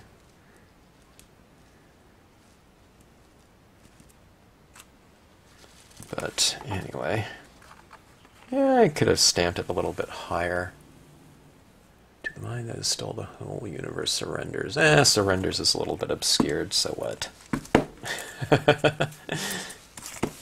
See, that's what I say if it comes out like that. I mean, I could go over that with a little bit more ink, then you just re-stamp it in a, you know, the stamp positioner, because it's still a little bit wet, but not going to do that. All right. So let's move on. I think that text adds kind of a nice, um, kind of graphic look. It would be bad to have something down here too, like a little word. Be kind of interesting. Maybe I don't know. But let's get to this one of my favorite techniques is the uh, bleed proof white. I just love it as a textural kind of addition to, uh, I don't know, just to a surface. Just a lot of fun to apply too. Kind of takes me back to childhood of doing some sort of splatter brush application of uh, paint. Okay, okay, just turned up my uh, exposure here a little bit. The exposure got reset when I when I turned off the uh, the uh, recording. Looking for a quote. Okay, here we go.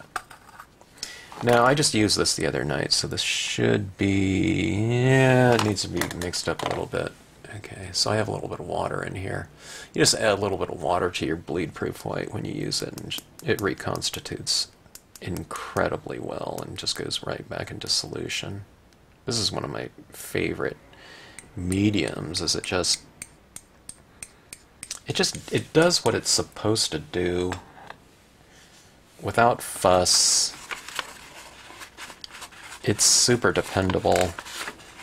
I mean, I, I can have a bottle of this that just goes completely dry and it's completely solid. And you just add that water back, back into it and it's ready to go. Um, you can have it sitting around for, I don't know, 15, 20 years like I did. I, I used this in school for college for some purpose. I don't remember what we got it for. And, uh, I don't know, I didn't pop open that bottle again for, I don't know, probably 15, 20 years after. Maybe it wasn't 20, maybe it was 15. I don't, I don't remember when I started doing this, but. Okay, so you want enough in your brush, you know, to splatter, but you don't want so much that you're going to get a big blob on your page. Okay, so a little test splatter. This is going to represent maybe falling snow or something like that. So you just kind of bend it back and trying to go a little bit vertical. I don't know, I guess you can go at an angle too if you want to go for this kind of the more of like an angled splatter. See that like that? See that's that's a really nice texture there, I think, you know? A little bit more practice in. I guess that's enough practice. That looks like it's coming out exactly the way I want. Okay, so let's take a look on this page here and just apply some down like this. Maybe it's uh, a little bit of falling snow. First snow of the year, maybe? Type of thing, because you don't see any on the branches.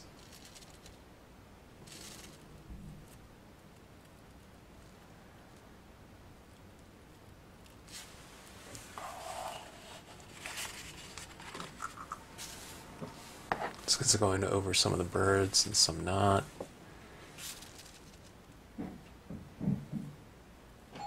I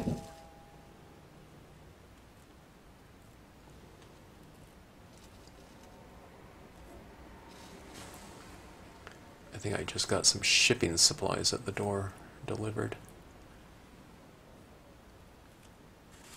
Okay.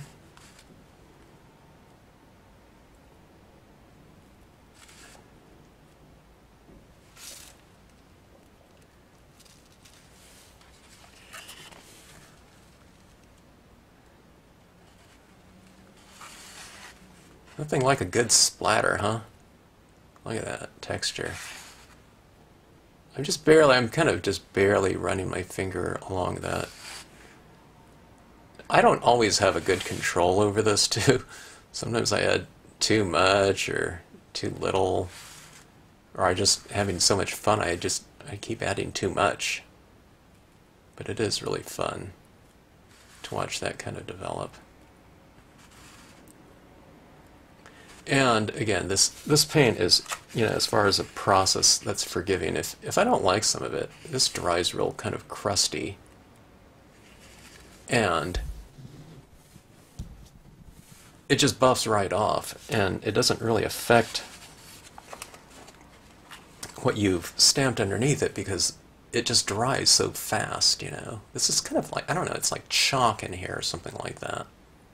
So like, say for example, I don't want some of that on that bird, you know. I'll just wait for it to dry, you know, and we're talking like a minute.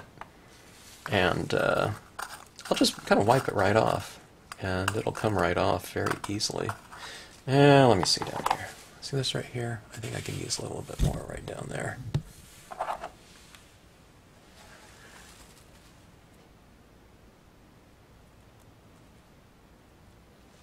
Okay, something like that. Okay, I need to go wash off my thumb here. Okay, let's see what we have here.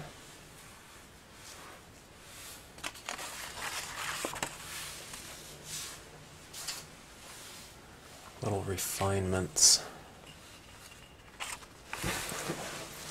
I don't want some of the uh, yeah, let me see. I have a scraper tool. I was just going to buff it off with a piece of paper towel, but I have this scraper tool from my uh, for use on the uh, stamp board, and I'll just take off a, couple of these little dots here and there. Okay. There was a couple larger ones and that were kind of obscuring my uh, bird a little bit that I wanted off of there. But otherwise, let's take a look. Let's take a look at a close-up shot of this, okay? See that texture in there? It's like first snow or something like that.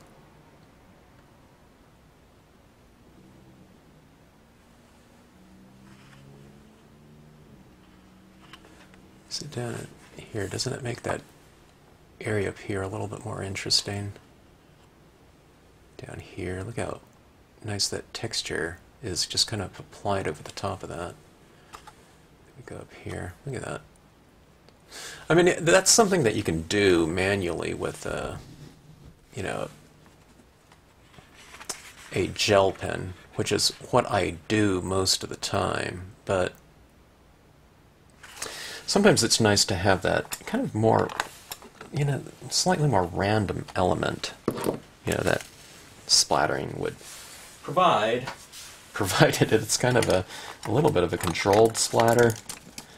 Because I have gone like that, and I just had too much ink in there, and there's a big blob. But then you just allow it to dry, and then just buff it right off, and it comes right off.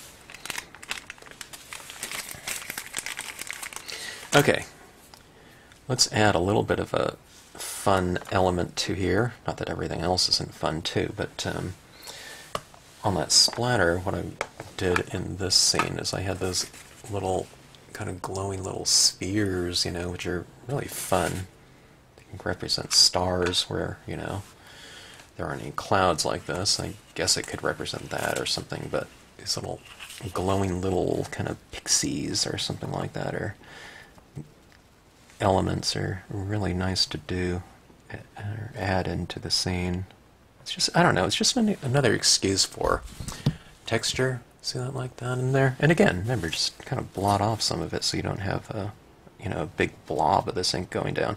This paint will dry, uh, pigment ink will dry um, darker, so sometimes if it looks like you've put too much, you really didn't because when it dries it'll look darker. And then if you spray it, that pigment ink won't show up as much because it, it's like if you've ever sprayed pastels or chalks that darken, right? Same things happens to, to this, so just keep that in mind. See these little glowing little spheres like that? Look at that, what that does. And here's some out here. It's like it's like adding light, I guess, you know, lights into your scene.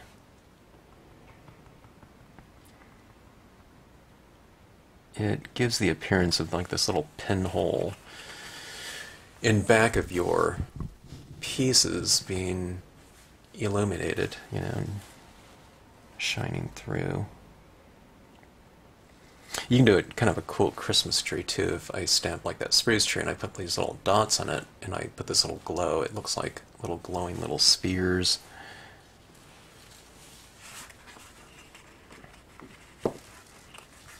Or maybe these are kind of uh, snowflakes or something like that. That's really too much ink, so I'll just blot it off here with the, you know with the clean side of my swab, or you just kind of dab on there like that. It takes off some of that ink, but maybe these are little. Um, bits of snow. I'm kind of adding this over some of those larger splatters that landed on the uh, scene. And making those ones glow a touch. Or I can add a, you know, a gel pen one, a larger one, wherever you want.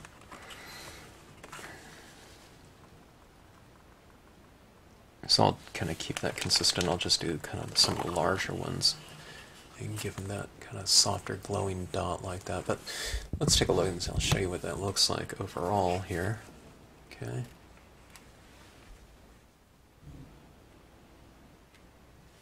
Kind of need a couple over here too, don't we? Let's add a couple more.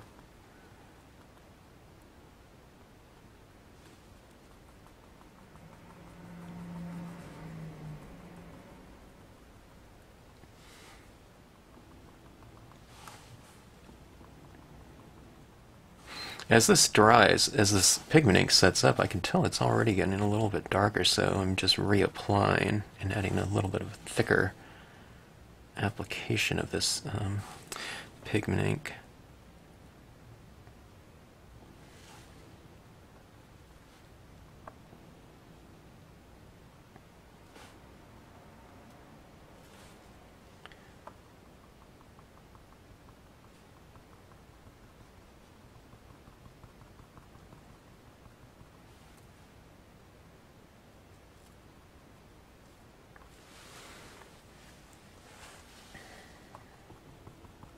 Kind of reapplying here and there, or just building up the tone a little bit more so it becomes a little bit more, eh, kind of moving towards um, opacity. It's still very translucent though. You know, you get that blue ink kind of showing through.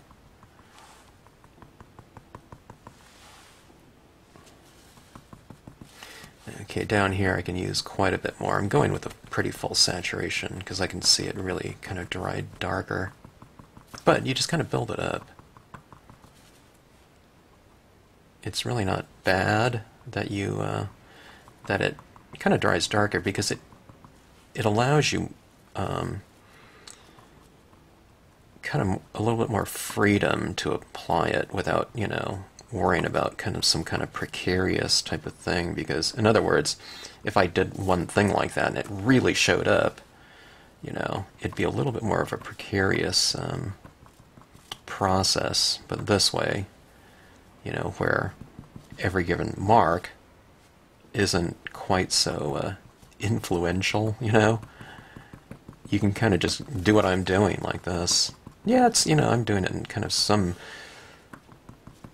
it's roughly specific areas, but not too much, though. I'm just not adding it in, you know, too much in the darker areas, but around in lighter areas, you, you know, it's, there's much more freedom to uh, apply it.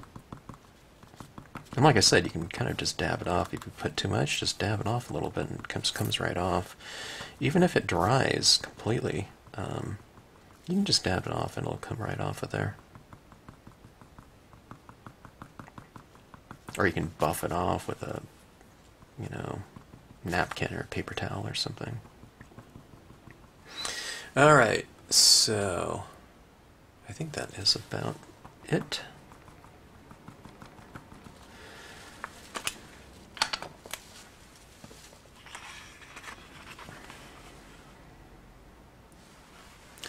Kind of a nice migration somewhere, daily migration or whatnot. First snow of the year, to mind that is still the whole universe surrenders. I don't know, kind of makes for a nice composition as far as imagery goes, what do we have? One, two, three, four, five, six, seven, eight images over this paper. If I didn't have the two different trees, you can just use one tree, but use it at stagger the heights a little bit. And then if you have like a black dye-based pad, and a lot of you have, you know, type of other types of black pads, like a VersaFine or something like that, maybe vary it a little bit, you know, have two different uh, tones, um, black tones for your imagery, and that can vary it. Look at, you know, we can see it right here. Look how dark the uh, the VersaFine was, and you can see some of these were uh, the Marvy pad, the dye-based pad. So pigment versus dye gives you kind of, I would call the Marvy real black, but next to the uh, the VersaFine, it looks more of like a variation of gray, so this is may maybe more like a 95%, and that's 100%. I've always said the Marvy is really close to 100%, but that's relatively speaking. When you put that VersaFine down there, it's really black. But see, it varies it. And these uh, characters back here were done in, was it blue and black? I already forgot, but, uh, you know, they're farther back in the distance, so I stamped them in a lighter tone than these ones. But they could be stamped in black, you know. It just, there's all kinds of variations you can do, and one's not better than the other. It just gives you a little bit of a different take on it or a different look. Anyways, hope you enjoyed the scene as much as I enjoyed stamping it. These stamps will be out soon. my rubber guy's waiting for his matrix boards, which are kind of uh, a little bit delayed from his supplier, as they have to make them. I guess I guess they were on holiday or something like that as well, or off for the holidays. But uh, I'm enjoying my test print of this uh, image and of all the uh, images. I, I should do like a like a series of these uh, bird ones at uh, kind of dramatic points in the uh, you know 24 hour period, twilight and dusk and dawn or whatnot, because they make really strong silhouettes against whatever kind of a color scheme and light source you're doing in a scene. So, thanks again, and hope the uh, scene was a fun one for you to watch.